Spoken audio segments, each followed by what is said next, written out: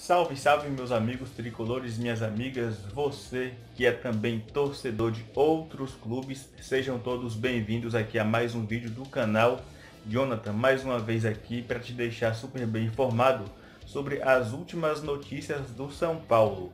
Eu já convido você a se inscrever no canal, ativar o sininho e deixar também aquele likezão, porque fortalece demais o canal não simplesmente assista, mas vamos ajudar aqui o canal a crescer, a valorizar aqui o trampo do canal, beleza? Então conto com vocês, vamos aqui fazer um pré-jogo de Flamengo e São Paulo, é o jogo decisivo da Copa do Brasil e tem novidades aí para a final da Copa Sul-Americana que vou te contar no vídeo de hoje.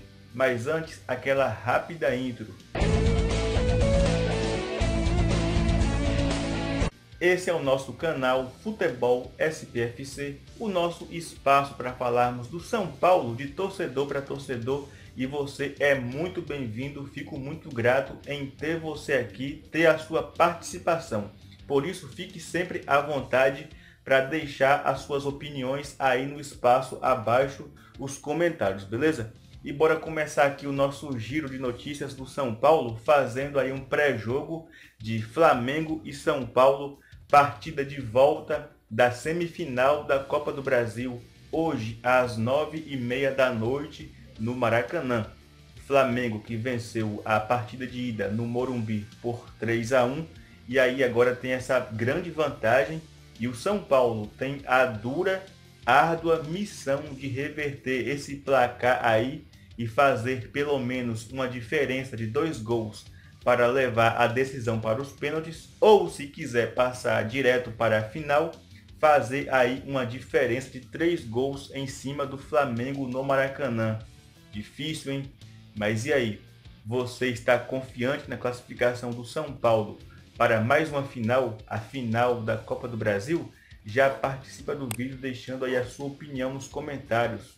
E para esse jogo, o São Paulo terá pelo menos duas mudanças importantes em relação àquele time é, que o São Paulo se classificou para a final da Copa Sul-Americana, que são o Gabriel Neves, obviamente que está fora aí porque lesionou o joelho, e também o goleiro Felipe Alves, que já atuou pelo Juventude na Copa do Brasil, portanto não pode mais atuar pelo São Paulo na competição.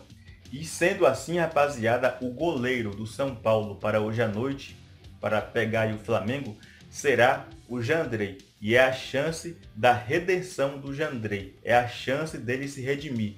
Ele que vinha em uma boa sequência, mas após a lesão nas costas, ele voltou muito mal, voltou muito inseguro, muito instável. E dos oito chutes que o Jandrei sofreu, o São Paulo sofreu sete gols. Então, uma marca, um número muito ruim e esperamos que hoje o Jandrei volte a fazer uma boa atuação com a camisa do São Paulo e faça a diferença nesse jogo, porque será muito importante, passará muito pela condição do Jandrei uma classificação do São Paulo para a final da Copa do Brasil.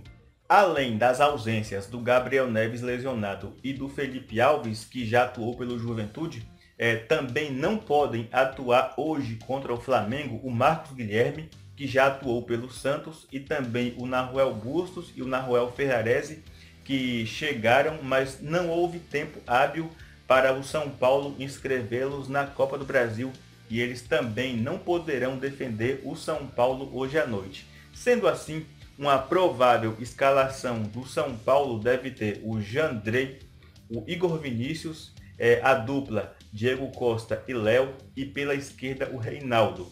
É, o primeiro volante aí, o Pablo Maia, no meio campo, o Rodrigo Nestor, o Patrick e o Alisson. É uma repetição daquele meio campo do jogo contra o Atlético Goianiense pela Copa, do, do pela Copa Sul-Americana e a mesma dupla de ataque, Luciano e Caleri. É, o Ceni basicamente ele deve, não é uma garantia, mas ele deve repetir esse mesmo time aí que eliminou o Atlético Goianiense, porém com essas mudanças, Gabriel Neves e Felipe Alves que não poderão atuar hoje. Também temos que ressaltar, né? é, não temos a certeza se ele vai entrar aí com a linha de quatro ou com os três zagueiros, porque, como eu falei na live, é muito difícil você entrar para marcar essa dupla Pedro e Gabigol sem um zagueiro de sobra. Então, eu ainda tenho minhas dúvidas se o Ceni não vai mandar a campo é, hoje à noite aí uma linha com três zagueiros. Segura aí porque já já tem novidades sobre a final da Copa Sul-Americana. Olho na arbitragem, hein? Apita Flamengo e São Paulo hoje à noite o árbitro Wilton Pereira Sampaio. É um árbitro duvidoso aí, é o inimigo do futebol, não gosto, não gosto. Por sinal, né, é o mesmo árbitro que praticamente eliminou o Fortaleza da Copa do Brasil contra o Fluminense no Maracanã. Então, não é de confiança. Assistente 1, Bruno Rafael Pires. Assistente 2 é o Bruno Bosquilha. E no VAR, Pablo Ramon Gonçalves Pinheiro. Os ingressos para a torcida do São Paulo ainda podem ser comprados até hoje às 14 horas aí da tarde no seguinte site. O site é o visitantesfla.eleventickets.com. Então, o torcedor do São Paulo que quiser é, ir assistir o jogo do São Paulo aí contra o Flamengo no Maracanã, pode comprar seu ingresso até as duas da tarde de hoje. E é aquilo, né, rapaziada? É difícil reverter? É. A missão é árdua? É difícil? É complicada? É. Mas enquanto houver chances, vamos acreditar. Futebol é mágico por isso. Não tem lógica, não tem justiça, nem sempre o melhor vence. É o 11 contra 11, é dentro de campo. Quem tiver mais inspirado, quem tiver mais ligado, vai vencer. Quem for mais preciso, vai vencer.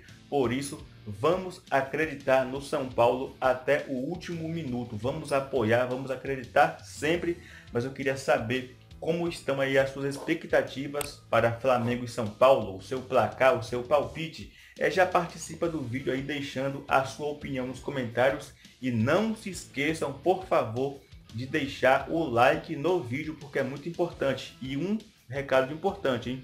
Assim que o Wilton Pereira Sampaio apitar o final do jogo, nós entramos ao vivo aqui com a nossa live de pós-jogo Flamengo versus São Paulo pela Copa do Brasil e esperamos que cometemos aí uma classificação do São Paulo para a final da Copa do Brasil.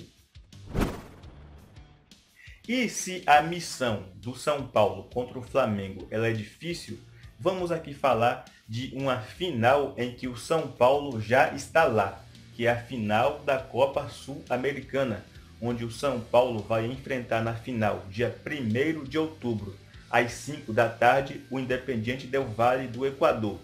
As vendas de ingressos para o torcedor do São Paulo já estão à venda, que é o CAT 3, que é o setor amarelo sul, o valor do ingresso para a torcida do São Paulo são 57 dólares, mais ou menos 292 reais. Foram disponibilizados para a torcida do São Paulo 14 mil ingressos e para a torcida do Del Valle também 14 mil ingressos. Inclusive o, o Del Valle é, já disse que não, não precisará desse número todo de ingressos porque o Del Valle não é um clube tão popular no Equador então, assim, é bem provável que o, o ambiente do estádio Mário Kempis em Córdoba ele esteja muito favorável ao São Paulo.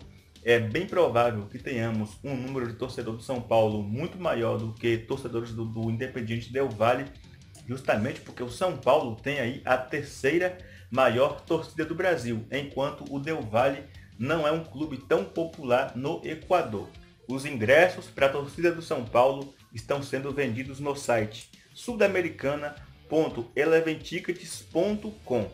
Os ingressos para a torcida para o setor geral estão custando 130 dólares, aproximadamente 665 reais, e também estão à venda para você que não quer assistir o jogo aí nesse setor, que é o setor amarelo sul, que é o setor atrás do gol queira sentar nesse setor mais aí é, centralizado no campo, você tem essa opção de ir aí na torcida geral que é um ingresso comercializado pela própria Comebol pelo valor de 130 dólares, que você também terá uma visão melhor do gramado, né? E tem novidade aí para a final da Copa Sul-Americana.